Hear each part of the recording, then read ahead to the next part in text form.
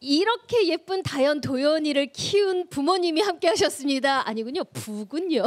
자, 김봉근 훈장님이세요. 어서 네, 오세요. 반갑습니다. 아버님. 안녕하세요. 이제 네. 훈장님보다 다현이 도연이 아버님이 더 익숙하시죠? 맞아요. 새로운 이름이 생겼습니다. 다현이 아버지, 네. 다현이 아빠. 정말로 이제 훈장님은 거의 없어지고 오. 그리고 이제 때로는 또 도연이 아빠 이라는데 네.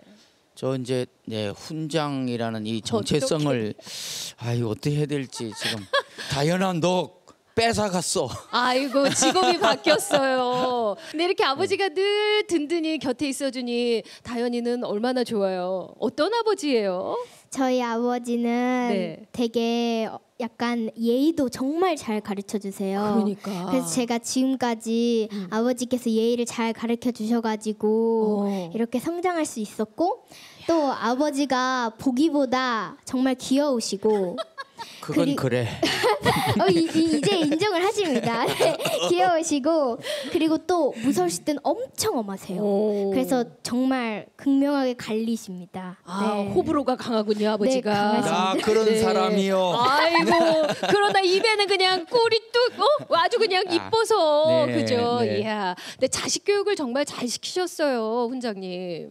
저는 한 30여 년간 이제 훈장을 하는 네. 직업 교육인이고 그래서 이제 내 딸이나 뭐 남의 딸이나 음. 이렇게 교육하는 데 있어서 차별 없이 하려고 노력을 했고 어깨가 넷을 키우려다 보니까 조금 무겁습니다. 네. 예전에 왜 백대 명산 프로젝트에서 아이들과 함께 어, 등반하셨잖아요. 지금도 계속 하고 계세요?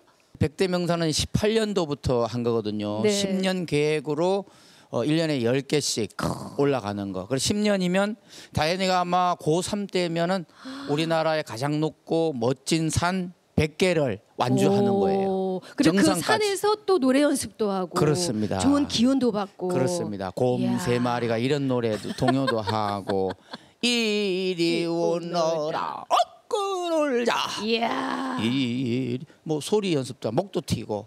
폐활량도 늘리고 음. 건강에도 좋고 대한민국 산하를 보고 네. 느끼고 배우고 정말 큰 인물로 키우고 있는 김봉곤 훈장님입니다. 자 앞으로 이 김다현 양이 갈 길 저희도 기대를 많이 하고 있는데 최근에는 저기 경남 하동에 좋은 거 생겼다면서요, 다현 양? 네, 청학동에 있는 경남 하동에 네. 김다현길이 생겼어요. 김다현끼리 네. 김강석 거리 뭐 송해공원 이렇게처럼 네. 와 벌써 얼마 안 됐는데 1주년이 1주년이 1주년이 됐구나. 됐습니다.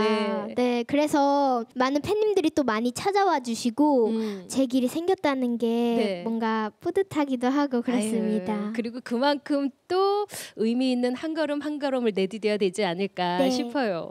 앞으로 어떤 가수, 어떤 김다현이 되고 싶으세요? 한국에서 음. 이제 트로트를 부르고 있지만 앞으로는 전 세계에서 wow. 사랑받고 이제 BTS 오빠들처럼 아 BTS 오빠. 네, 열심히 노력해가지고 음? 트로트도 알리고 국악도 알리는 음흠. 멋진 가수가 되고 싶습니다. 네, 알겠습니다. 저희도 다현 양 응원하도록 할게요. 어, 미리 초등학교 졸업 축하해요. 감사합니다. 자, 실력이 있는 사람은요 정말 자유롭다고 합니다. 아, 그리고 노력하는 사람은 용기가 있다고 하는데요. 우리 다현 양이야말로 용기 있고 최선을 다하는 아름다운 아이가 아닌가 이런 생각이 들면서